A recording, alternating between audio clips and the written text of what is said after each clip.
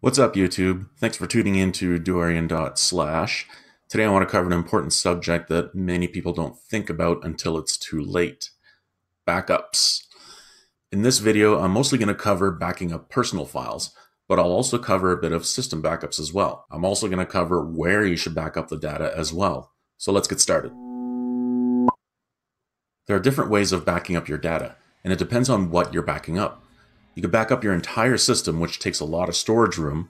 You could do backups and system snapshots, which saves your system's configuration, but doesn't necessarily save your personal files. System snapshots are more to preserve your system, as in your operating system. So if you do an upgrade or you install a driver and things go wrong, you can always revert back to a working state. Then there's backing up your personal data, which to many people is the most important of all. You can always reinstall Linux, but losing your personal data like important documents and photos can be a big deal. I've personally been a repeated victim of data loss due to corrupt files and complete hard drive failure. It does happen. Luckily, I've had fairly recent backups, and in one case, I was able to recover data off of a hard drive that was failing before it completely died. I have tons of data that's important to me, like documents, databases, and software, but some of the most important things are also photos. I've been using digital cameras pretty much since they first came out, and I have every single photo I've ever taken backed up somewhere. These are important memories that you don't want to lose. Pictures of friends, family, my wedding, and all the trips and vacations I've been on. And I almost think that I'd be more upset if I lost the photos than the documents. There are a lot of solutions to preserve your documents and photos out there, and one of the simpler ways is to just burn a DVD or copy files to a USB stick or an external hard drive. You can also back up your files to the cloud, which can be one of many online storage services available. And they usually give you a small amount of storage for free, which can be expanded to a larger size for a monthly fee. But that can make it difficult when you have a lot of files because you have to keep track of what you've already backed up. So the next time you want to update your backups, you back up only what you haven't already backed up. So you're dealing with dates and did I back that up? Did I back that up? I don't remember this and that. So, yeah. Luckily, in Linux, you have many options. You can use a command line tool called rsync, which will copy files for you and can even be set to skip over files that are already backed up to speed up the process. But there's simpler tools out there. One of the nicest that comes with Ubuntu and other GNOME distributions is Backups, and its real name is Deja Déjà Dup. This is the one tool that I will recommend above all others for the average user when you want to back up your personal documents and photos, simply because it's so easy to use and it's very reliable. And it's also integrated into Nautilus. Deja Déjà Dup performs what's called differential backups, and it's great because it can be set to run automatically on a schedule. This means that your first backup will be huge because it will be all your data, but the next time it runs, it will only back up files that have been added or changed since the last backup. What this also allows you to do is roll back changes on a file. So if you changed a document and saved it, but then you realized you made a mistake, you can recover the old version from the last backup. This also works with photos in case you accidentally made a bad edit. It will even restore files that you deleted by accident. It also has a manual backup option, so if you're about to start working on a project, you can click Backup Now to ensure you have a good copy, safe and sound. Déjà Dup can also be installed if you're using KDE or any other desktop environment. Just be aware that it'll pull some GNOME dependencies along with it in order for it to work. It's really easy to use. You just select the folders that you want saved, which is normally just your home folder. Choose which ones you want to exclude or ignore, and then schedule it, or just stick to manual backups. Now, I do recommend that you exclude certain large folders that you don't need backed up. So if you're planning to back up your entire home folder, exclude downloads, which is already selected by default. Also the trash, you don't need to do that. Other folders that you might want to exclude, which you can add just by clicking the plus button here, are hidden by default. So what you're going to want to do is press Control H, which will show you all your hidden folders, all the ones that start with a period. So for example, Cache and Steam are ones that you probably want to exclude because cache is application cache. So there's your browser's cache and different applications, texture caches and whatnot. And then Steam, you'll have all your games in here. So you could use Steam itself and use its own backup system to back up your games, and then keep this out of here. And in fact, what you can do is just select all of these and keep in mind if you have your own custom icons and your own custom themes, I'm just going to hold control and click on these to deselect them because I do want my icons and my themes backed up unless I've backed them up somewhere else, which I have, so I will do this. Then click add and now all those hidden folders will be excluded from the backup, which will make it a lot smaller. Most of these are application settings and configurations, which you don't really require. If you restore your system, it will repopulate its configuration file and settings once you start it up the first time. However, the settings that you set before will not be set.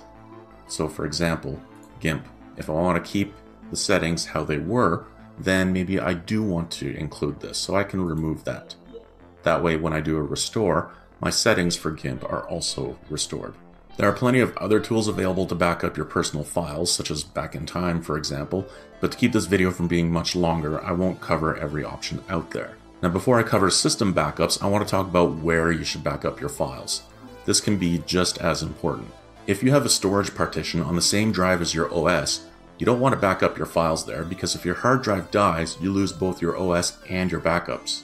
If you have a second hard drive in your computer, this is a better option, but if you have a major system failure which damages or corrupts all your drives, you're in the same boat. Cloud-based backups are a good solution, but it can be slow.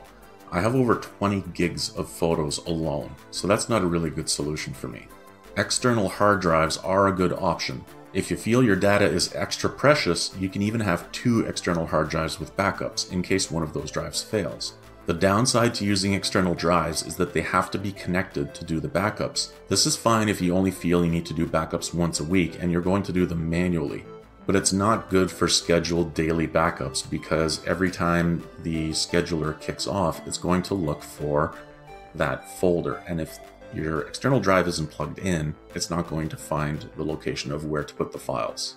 I use an external network RAID device, commonly referred to as a NAS. It's like an external hard drive that you plug into your home network. This creates a network drive which you can access at any time when you're on your network. The one I have is a LaCie RAID 5 NAS. RAID is super important to me. A regular external hard drive can still fail, which means you've lost all your data. The RAID 5 array that I use has four hard drives in it that act as one, but the data is spread across all four drives, which includes something called parity data. What this does is create a system where if one of the drives fail, none of the data is lost. I would simply replace the dead hard drive and the data would be rebuilt into the new hard drive using all the information from the other three drives. This is my NAS, which is available from all my computers from any operating system, provided you, of course, have the username and password to access it. If you have a NAS on your home network, you would access it by clicking Other Locations, and here you would type in the IP, smb colon slash slash, and the IP address. Then when you connect, the first time, it's going to ask you for your username and password. Now I selected Remember Forever, so I never have to enter it again. This is important if you want to save your files to your NAS. As you can see here, my storage location I've set to network server instead of local folder. If you choose local folder, it's going to save it somewhere on one of your hard drives.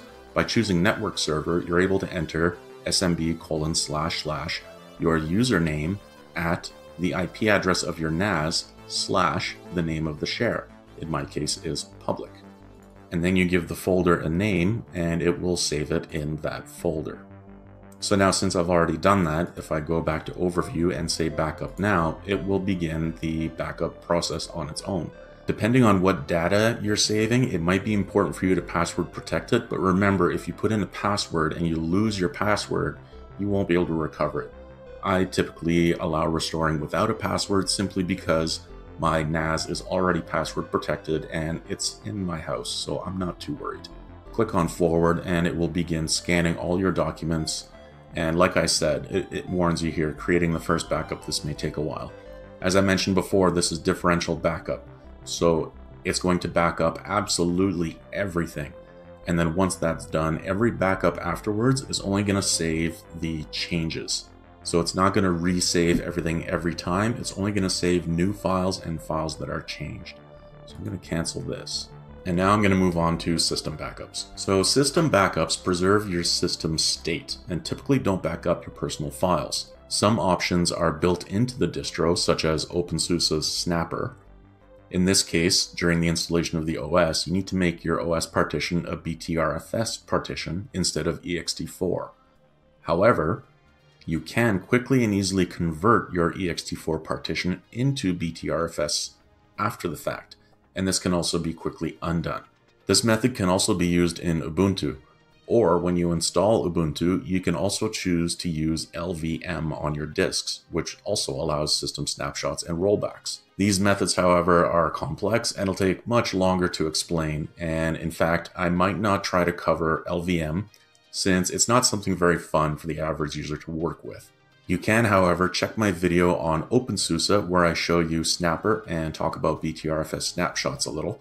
Look for the link in the corner here, and you can check that out or wait till the end of the video. One of the easier tools to create snapshots, which you can use right now, is called TimeShift. I'll open that right now. When you first open it, it asks for your password. I'll put a link in the description of where to find it. It's pretty easy to use and straightforward to figure out. The big downside is that it does not support network saves. So let me just show you TimeShift a bit. As I've said, it's pretty straightforward. You have your create, your restore, you can delete, browse, settings, and the wizard. Let's check out the settings. So when you first start it up for the first time, it's going to ask you if you want rsync or BTRFS snapshots. I suggest rsync. The location tab lets you set where you want your files to be stored. Now, TimeShift only backs up to Linux partitions and it won't back up to a Windows partition or a network drive, so that's a big downside. You can also set a schedule, monthly, weekly, daily, even hourly. As you can see, I disabled it. It was daily, which means it's enabled. I uncheck that because I don't like the automatic backups. Under the Users tab, it's going to, by default, exclude your home folders. You can include them if you want, but I recommend you save your personal files separately, but that is your choice. Under Filters, you can add exclusions. And this is similar to what I showed you earlier on Déjà Dup, where you can add folders and files to exclude from the backup. That's pretty much it for the settings. So I did two snapshots earlier, and this one was a, a large one that took about 10 minutes, and I'm going to create another one right now. So you can see it is skipping all the files that have no change and only backing up files that have changed. And that was it, pretty quick. Now, if tomorrow something happens and I want to restore, I would just click here, click restore. Now it's not only going to restore those 20 something files that change, it's going to restore everything up to this point. And I can also go further back and further back. Now, personally, I don't like system snapshots because they don't always work properly and it's usually best to just reinstall the OS and restore your personal files and settings. Yes, you do have to reinstall the software you use, but honestly, it's the best way to do it. If for some reason your system doesn't boot graphically to get to this point, you can also use TimeShift from the command line. It's not as easy to use, but if you follow the help, you can pretty much figure it out. I hope that I didn't instill any fear in you guys about losing all your files and your documents. It's not something that happens often, to be honest, but when it does happen, that's when you realize, oh crap, that file is gone, those pictures are gone. And then by that point, it's too late. So go out there, guys, back up your files, get an external drive, in, invest in a drive, invest in a NAS. It's totally worth it. If you don't have stuff on the computer, you don't have pictures on the computer, you really don't care, ignore this video altogether. But thanks for watching anyways. So anyways, that's all I got for today, guys. If you like the video, don't forget to click like. And if you're not subscribed, please do it. Do it now. And feel free to also check out my Patreon page, link in the description. And as always, you can follow me over on Twitter at DorianDotSlash. Till next time, guys, bash on.